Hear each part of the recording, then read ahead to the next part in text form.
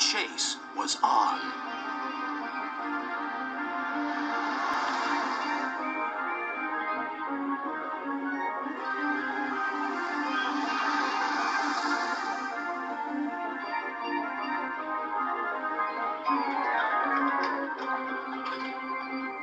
As they approached the hill, they overtook the freight cars. Sir Topham Hatt and Bertie screeched to a halt and waited for them near the top.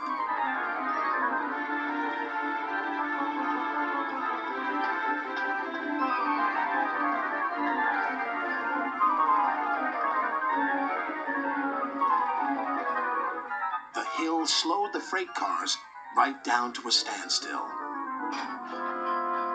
Then the men quickly put wooden blocks behind their wheels so they couldn't roll backwards. The freight cars were now secure. Just then, Percy arrived.